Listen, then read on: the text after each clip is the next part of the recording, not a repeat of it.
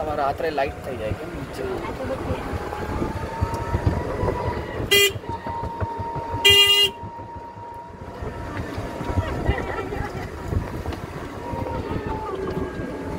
પકડજે ભાઈ સાહેબ